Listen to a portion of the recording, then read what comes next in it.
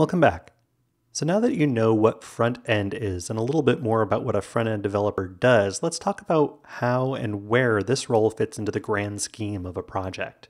The people in our neighborhood when it comes to web design are content strategists, information architects, UX designers, visual designers, front end developers, hopefully you, not too much time, back end developers, and project managers.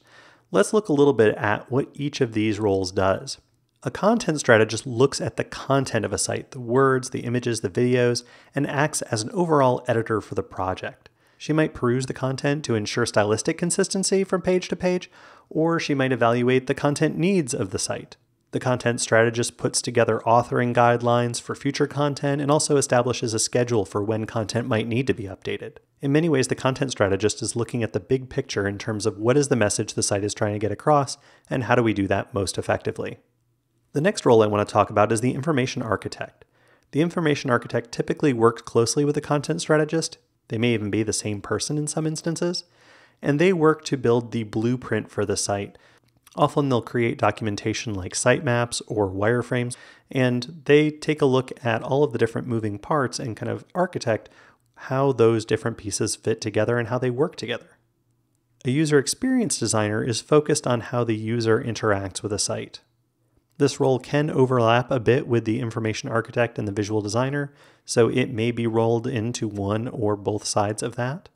And depending on the skills this person has, they could be generating drawings, wireframes, graphics, or even full blown prototypes. Regardless, the point of a UX designer's work is to make complex tasks easier and more intuitive for your users. The project's visual designer is tasked with taking the blueprints and the other sorts of artifacts that are created for the site and to then create a distinct visual design for that project. The visual designer establishes visual hierarchy, enforces consistency, and works to guide users naturally through each page, drawing attention where it's needed using tools like proportion, contrast, and white space. A visual designer might produce a series of page designs, or better yet, a design system like you're seeing right here, comprised of headings, paragraph text, and other sorts of content in order to make the front end developer's job easier. Now, the front end developer, that's you, they're where the rubber meets the road in terms of producing a website. Your task is to translate the visual and interaction designs into production level code, which means HTML, CSS, and JavaScript. Don't worry if all of that doesn't make sense to you quite yet. By the end of this course, it absolutely will. Now, working beside you is the backend developer.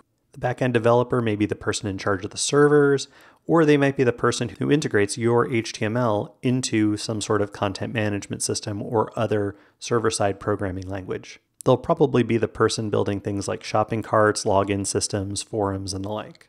And finally, the glue that holds the whole project together is the project manager. This is the person who's tasked with organizing the project in terms of schedule, team, budget, and all that sort of stuff.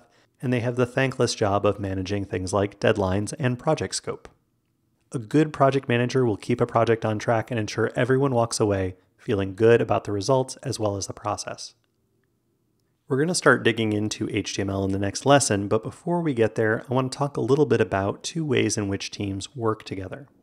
The first methodology I want to touch on is the waterfall methodology, and in the waterfall methodology, one person finishes their part of the project and then hands it over to the next person in the process. And then that person finishes their work and hands it to the next person, and so on and so forth.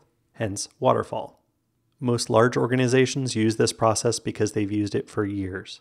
It's very similar to the factory model of an assembly line.